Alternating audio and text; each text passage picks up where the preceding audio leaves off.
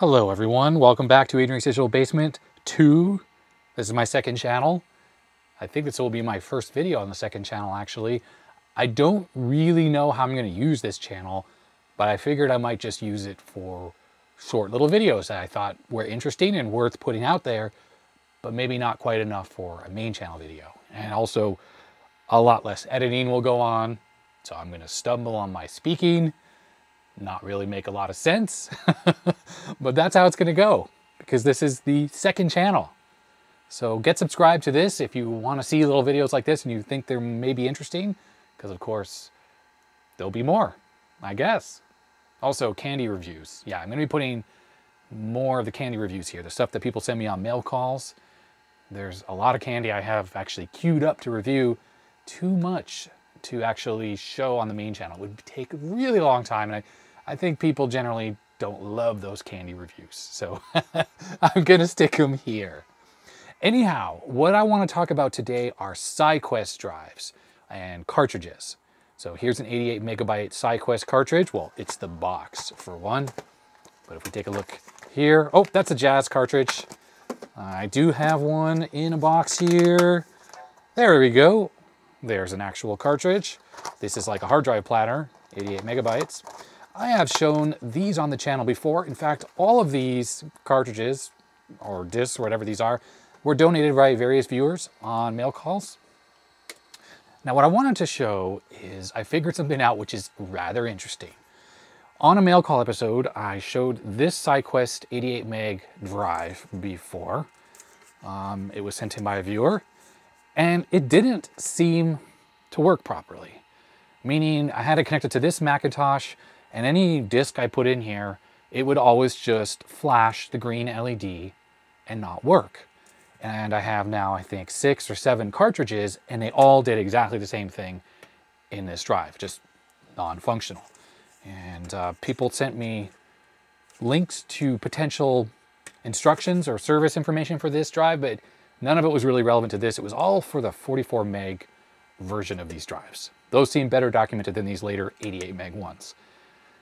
So recently, someone gave me a new SyQuest drive here. Well, not new, but another one.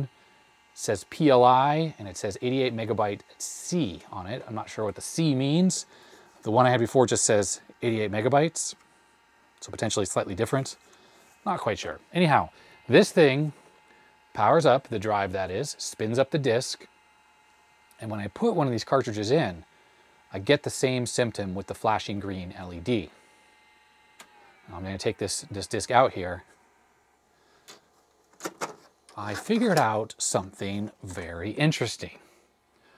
All of these cartridges I had tried in this bad drive, and they all did the same thing with the flashing light, if I would go into Silver Lining, which is the program I'm running on the Mac Classic here, and I did tests, would just test with tons and tons of errors. Okay, so unfortunately here, I'm trying to find one of the cartridges I haven't touched and tried in this drive yet, but basically all the ones I had tried in the other drive did the same flashing light. So I was thinking, could it really be that all these disks are just bad? Or perhaps this drive is bad as well? Not quite sure. But this was a cartridge that I had just taken out of one of these boxes. This is one I had tried in the other drive. And when I put it into this one, same symptom with the flashing LED, and I booted up Silver Lining here, and it said there were read errors. In fact, it says here, unable to reliably access the disk. That's exactly how it was in the other one. And what I did is I pushed the test button, and I let it do a full self-test short test. If you click this, it may not work. Okay, it does. We have short test, full test, and format, which is like a low level. I just did short test. And what it does is it's the cartridge spins down, spins back up, and then it does a whole bunch of testing, reading and writing and whatever. And it finishes with errors. It says there's an error.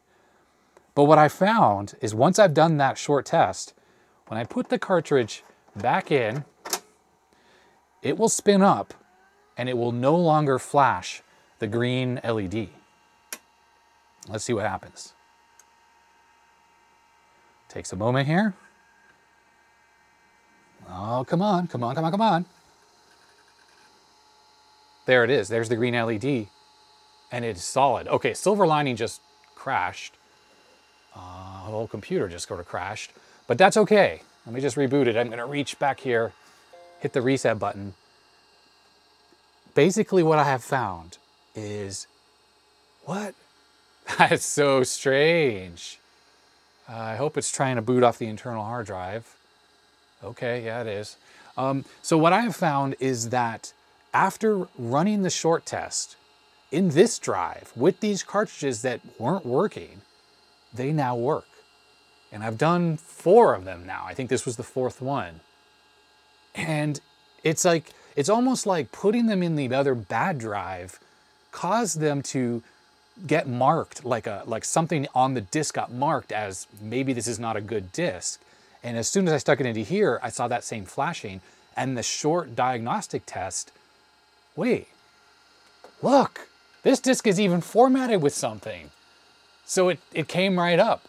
Okay, so these, these are my SCSI SD, which I have hanging over here. I'm just, you can ignore that. But this cartridge here, oh, there it is. 68 megs, 14 megs available. SyQuest 5110. I don't really understand why it's not 80 megabytes, although I guess that's about 80. Yeah, 68 plus 14, duh, about 80. So after running the short test with Silver Lining, the disk is now working and it's mounting properly. And it's not just this one. Um, the others are working too. Let's just take this out and I'll try one of these other random ones here. So here's another one. Pop this cartridge out. Let's take this cartridge, pop it in. Let's, I'll just put this back in this box here. Let's see, does this work now? Maybe? Uh, I'm using Silver Lining to format. A couple of these, after I did the short test, they weren't initialized, so I still had to initialize them. Like they had never been used on a Mac. Maybe they were from PC. So this is an example. Oh wait, there it is. Came right up. Now it says Baxter 85 because I formatted this with Silver Lining, but 71K in use, 83 megabytes available. Totally, totally working.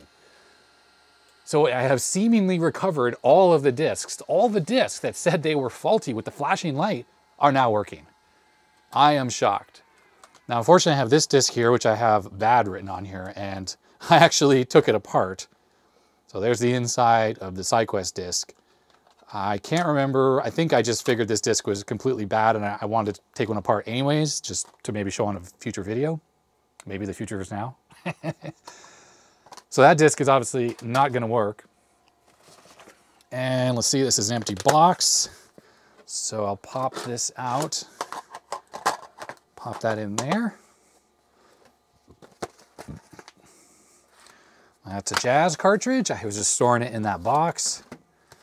This here is an empty box. Do I now seem to have more? Yeah, I have more boxes now than I have cartridges. Well, it seems like I have four good SyQuest cartridges now, and they all work perfectly after I did that short test. Oh, hold on. I just found one more. Now, I wrote bad August 2020 on here. someone had written disk one, and it says Mac HDD on here. Uh, okay, so actually, the orange light is stuck on, and that's not a fault of the drive. Now the computer's frozen. That seems to be something wrong with the silver lining drivers that I installed on there. I think I need to format this with a utility that's designed for SyQuest drives. So I found I just have to turn the computer off. In fact, I'll just reset the power to the whole thing. Turn that back on. Let's put this disk in. So even though I wrote bad on there, that might have been me thinking it was bad just because, again, I had tried it in this, this drive, which seems to ruin everything, but at least it doesn't permanently ruin them. It only kind of ruins them. Let's see if this gets the green light with the flashing. I expect it will be doing the flashing. Oh, it's not even flashing that one. That's just solid.